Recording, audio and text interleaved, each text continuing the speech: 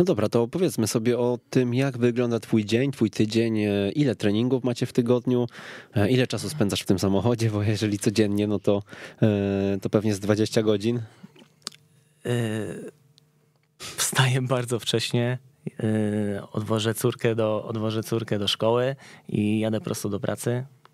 Pracujesz w Płocku czy obok? Pracuję, pracuję w, w urzędzie gminy blisko miejscowości, w której mieszkam, w gminie Bodzanów. Pracuję tam jako urzędnik, więc y, mam pracę, która jakby nie absorbuje mnie fizycznie.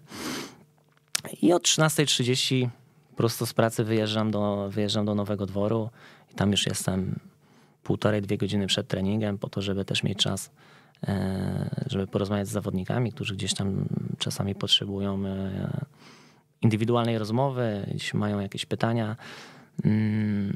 Kończymy trening. Po treningu staram się, żeby wychodzić z klubu jako ostatni, bo też po treningu często przychodzą zawodnicy, pytają o coś, e, chcą jakieś tam kwestie, czy taktyczne, czy też mają swoje problemy. E, to poświęcam maksymalnie jeszcze dwie godziny po treningu na to, żeby, e, żeby być do dyspozycji dla, dla zespołu. I około godziny 20-21 wracam do domu. Czyli jesteś koło 22-23 w domu.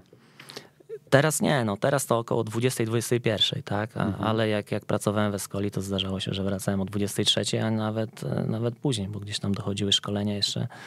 E, więc ten czas się bardzo mocno wydłużał. I tak od poniedziałku do piątku, czy macie jakiś e, dzień, gdzie nie ma treningu?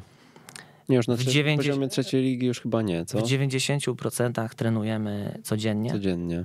Mm, natomiast też jeśli chodzi o, o, ten plan motoryczny, to, to, to gdzieś tam y, ustaliliśmy z trenerem y, Naulewiczem, że są dwa tygodnie takiej mocniejszej pracy, o, o większej objętości y, i później jeden tydzień może nie schodzimy z obciążeń, ale schodzimy z objętości i wtedy często jest tak, że, że zdejmujemy jedną, jedną jednostkę w tygodniu albo po prostu skracamy poszczególne jednostki w trakcie całego tygodnia.